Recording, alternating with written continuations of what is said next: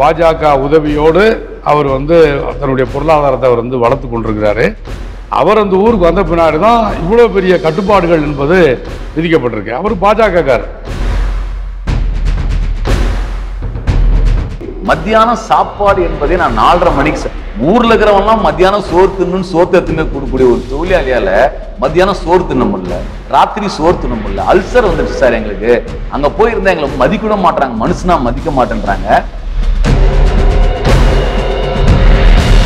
இந்த பழனியப்பன் குடும்பத்தோட தொடர்பை வைத்திருந்த இருபத்தி ரெண்டு குடும்பங்கள் ஊர்வலக்கம் செய்யப்பட்டிருக்காங்க. அந்த ஊரில் வந்து அவங்க குடிநீர் எடுக்க முடியாது. அவங்க வந்து பொது இடத்தை பயன்படுத்த முடியாது. தீர்மானம் உங்க விளக்கம் சொல்லு ஊருக்கு அதே சொந்த சமூகத்தை சார்ந்த ஊர் கட்டுப்பாடு. இன்னைக்கு வந்து கம்யூனிஸ்டுகள் காணாம போயிட்டாங்க. கம்யூனிசம் தோற்று போயிட்டு சொல்லிட்டு இப்போ வக்கனையாக எழுதக்கூடிய எழுத்தாளர்களை பார்த்து நம்ம கேட்க வேண்டிய எப்ப கம்யூனிசம் தோற்று போச்சுன்னா இன்னைக்கு பதினாறு மணி நேரம் உழைப்ப சொல்லக்கூடிய இந்த அமைப்பு என்ன? முதலாளித்துவ சமூக அமைப்பு தானே? உனக்கு பேனா இல்லையா? கையில டைப் பண்றதுக்கு வார்த்தை இல்லையா? ஒரு ஆட்டோ உரிமையாளரை ஒரு கார் உரிமையாளரை இன்னைக்கு ஓலாவினுடைய தொழிலாளியாக ஊஃபர்னுடைய தொழிலாளியாக மாற்றிருக்குன்னு நம்ம வந்து பார்க்குறோம். இந்த இடத்துல தான் இந்த சுரண்டலுடைய கொடூரத்தை நம்ம பார்க்குறோம். ஆயிரத்தி எண்ணூறுகளில் மார்க்ஸ் சொன்னது.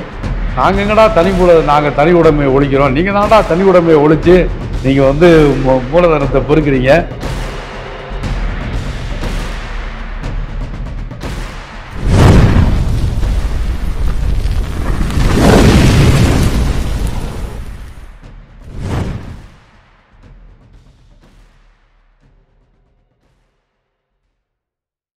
வணக்கம். சொல்வது தெளிந்த சொல் நிகழ்வுக்கு அன்புடன் அழைக்கின்றோம். வடிவேலு ஜோக்கு தான் இன்னைக்கு திருப்பி விவாதமா இருக்குது. கிணத்தை காணுன்ற மாதிரி. பாஜகவினுடைய தேசிய தலைவர் தமிழ்நாட்டுக்கு சுற்றுப்பயணமா ரெண்டு நாள் வந்திருக்காரு. மதுரை எய்ம்ஸ் மருத்துவக் கல்லூரி வந்து என்னன்னா தொண்ணூத்தைந்து சதவீதமான பணிகள் முடிந்து விட்டதுன்னு பேசியிருக்காரு.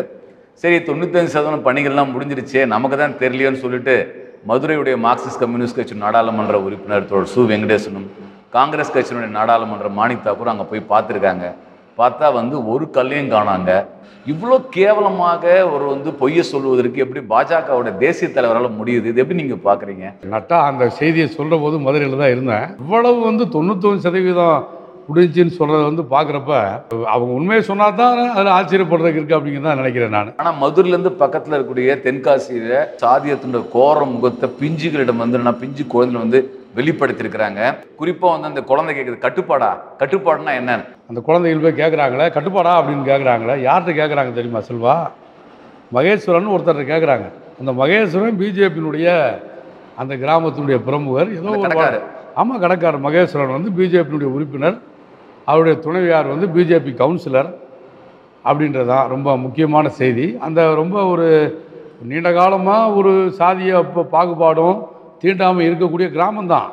ஆனால் மகேஸ்வரன் வெளிநாட்டில் வெளி மாநிலத்தில் போய் அவர் வந்து பாஜக உதவியோடு அவர் வந்து தன்னுடைய பொருளாதாரத்தை அவர் வந்து வளர்த்து கொண்டிருக்கிறாரு.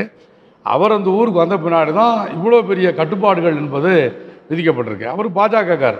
நாம் தீண்டாமொழிப்பினுடைய ஆய்வில் தான் அதை வந்து நம்ம வெளிப்படுத்தணும் அப்படிங்கிறது முக்கியமான ஒரு செய்தியாக நம்ம வந்து பார்க்க வேண்டியது. அந்த கிராமத்தை பொறுத்த வரைக்கும் அது வந்து ஏதோ வந்து கடலை மிட்டாய் கேட்ட பிரச்சனை அப்படின்ற மாதிரி பார்க்கப்படும். அப்படி அல்ல. அந்த கிராமம் முழுவதும் தீண்டாமையால் வந்து இருக்குது அப்படிங்கிறத நம்ம பார்க்குறோம். பள்ளிக்கூடத்தில் தலித் குழந்தைகள் நாங்கள் தரையில் உட்காரோம்னு சொல்கிறது உண்மை.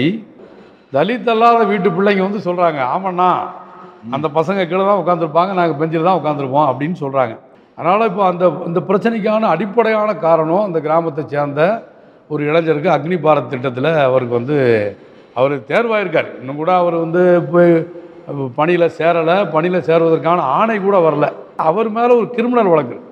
அந்த கிரிமினல் வழக்கு அந்த கிராமத்தில் இருக்கக்கூடிய ஒரு தலித்தை தாக்கியதற்காக கிரிமினல் வழக்கு. இப்போ அந்த வழக்கு இருந்தால் அவர் வந்து வேலைக்கு போக முடியாது. இவர் போய் அவர்கிட்ட போய் அந்த வழக்கை வாபஸ் பெற வேண்டும் என்று கேட்கிற போதே மிரட்டுறார். நீ வந்து வாபஸ் பெறலாட்டி நீ வந்து இருக்கு. அதனால தான் நம்ம கூட இப்போ என்ன கேட்டிருக்கோம்னா அவர் பிணையில் தான் இருக்கார் இப்போ அவர். அந்த வழக்கு முடியலை. அதனால் அந்த முன்னாடி போட்ட வழக்கு. இப்போ அந்த வழக்கில் அந்த பிணையை ரத்து பண்ணணும் அப்படின்னு வந்து நம்ம கேட்குறோம் இப்போ வந்து காவல்துறை அந்த தென்மண்டல காவல்துறை அதிகாரிலாம் வந்து நல்ல நடவடிக்கை எடுத்ததான் சொல்லிட்டு பல பேர் பாராட்டுறாங்க.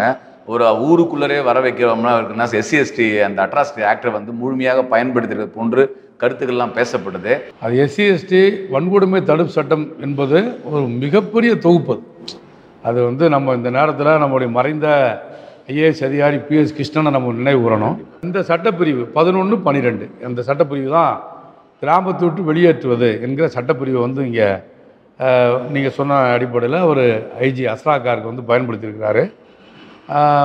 இதுக்கான கால வரையறையை வந்து இரண்டு ஆண்டுகள் என்று அவர் பண்ணார். ஆனால் நீதிமன்றம் அது ஒரு ஆறு மாதம் என்று சொல்லப்பட்டிருக்கு. இதுவே கூட ரொம்ப ஒரு முக்கியமான ஒரு தீர்ப்பு தான். நிச்சயமாக ஆனால் இதெல்லாம் வந்து ஒரு ஒரு மாநிலம் முழுவதும் எடுக்கப்படக்கூடிய நடவடிக்கையாக இது இருக்கணும்.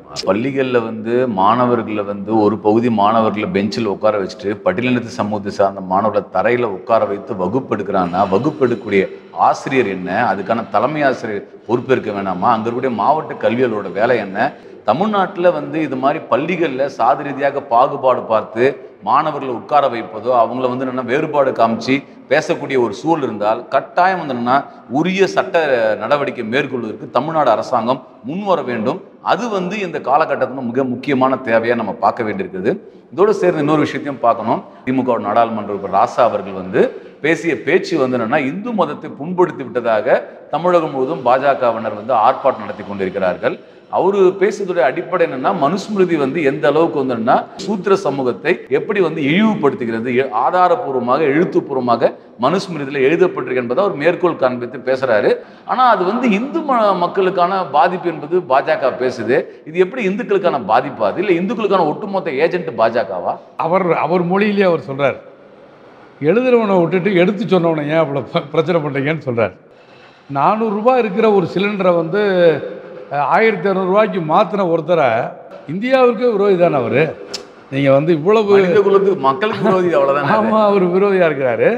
நீங்கள் வந்து ஒரு நாற்பது ரூபா இருந்த பெட்ரோலை நூற்றி இருபது ரூபாய்க்கு மாற்றுறவரை விட ஒரு மிகப்பெரிய விரோதியும் துரோகியும் யார் இருக்க முடியும் அப்படின்னு. ஆனால் பாஜக பாருங்கள் இப்படி ஒரு இல்லாத ஒரு பிரச்சனையை இது வந்து ஏதோ மனுஷன் நீங்கள் இவ்வளவு கோபம் உங்களுக்கு வரும்னு சொன்னால் மனு மேலே உங்களுக்கு எவ்வளோ கோபம் வரணும்? ஆர்எஸ்எஸ் என்ன பேசுகிறதோ பாஜக எதை வந்து பிரச்சாரத்துக்கு பயன்படுத்துகிறதோ அந்த பயன்படுத்தக்கூடிய விஷயத்தை தமிழ் இந்து நாளிதழ் வந்து என்னன்னா கிட்டத்தட்ட அரை பக்கத்துக்கு ஒரு செய்தியாக போடுறாங்க. அப்போ அந்த செய்தியை வந்து என்னென்னா அதே மாதிரி நீங்கள் எலக்ட்ரானிக் மீடியாவெலாம் பார்த்தீங்கன்னா கிட்டத்தட்ட திமுக ஆளுங்கட்சிக்கு எதிர்நிலையில் அண்ணாமலை இருப்பது போன்றனா கார்ப்பரேட் ஊடகங்கள் திட்டமிட்டு செய்தியை கட்டமைக்கப்படுகின்றன.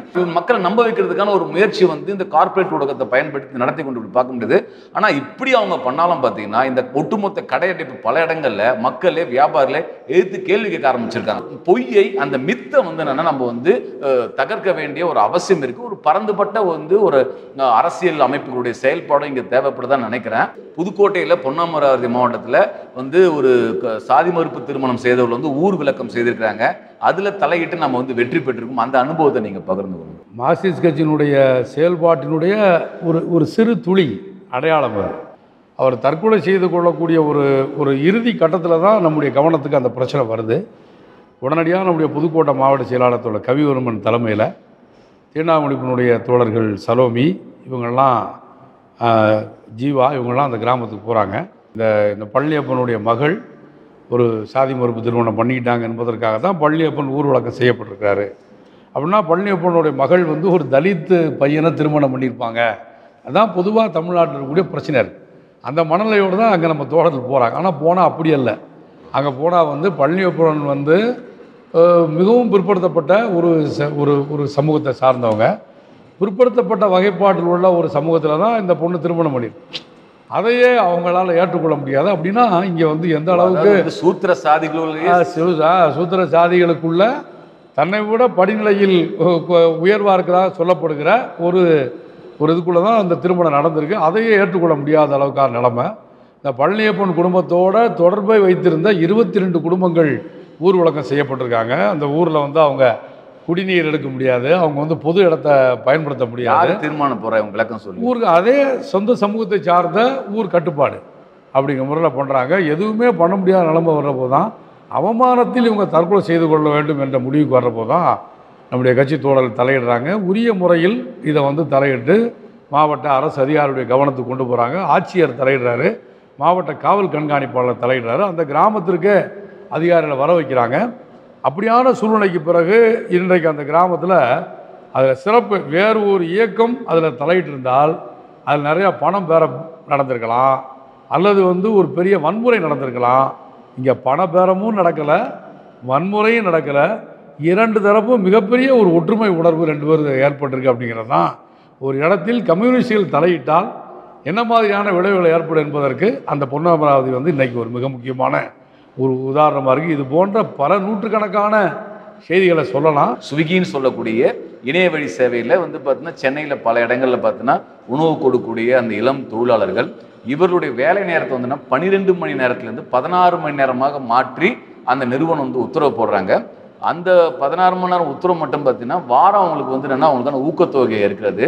அந்த வாராந்திர ஊக்கத்தொகையை அப்படியே வந்து நிறுத்துறாங்க. தினசரி ஊக்கத்தொகையை நிறுத்துறாங்க.